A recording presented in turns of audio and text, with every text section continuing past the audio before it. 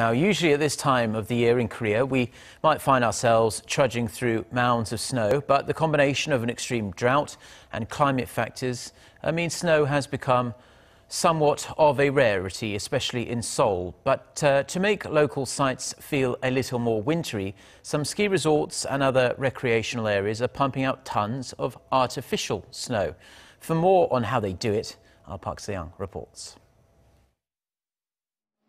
This hill is covered with artificial snow. Man-made snow contains more water and is much denser than natural snow, which makes it ideal for use with winter sports.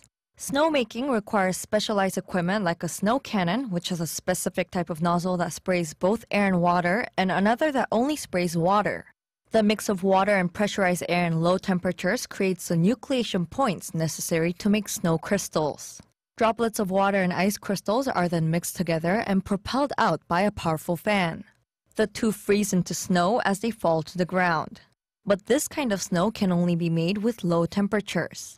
There's another type of artificial snow made of pulp or wax that can be produced regardless of time or place. It was used to create the snow-covered mountains in the Korean blockbuster The Himalayas.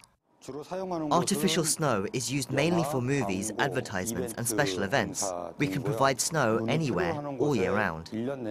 The wintry landscapes we come across may not have all been made by Mother Nature, but with some help from scientific technology, we don't have to wait for winter to see them. Park Se-young, Arirang News.